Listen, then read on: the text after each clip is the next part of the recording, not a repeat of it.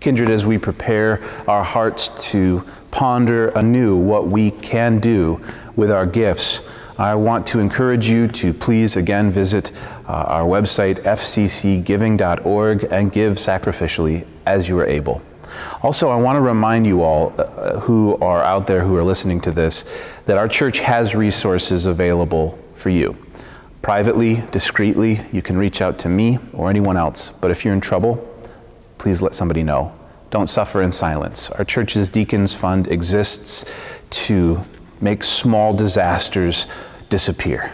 That's what we try to do as a family of faith. So if you or a loved one or someone you know is struggling right now, go ahead and reach out to me and put me in touch with them, and we will do as much as we can uh, in total confidence, privately and quietly. Uh, but if we can't be here for one another in times like this, then what are we here for?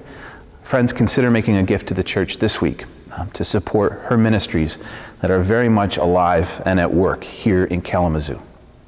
The offering is what we can give when we cannot be there in person.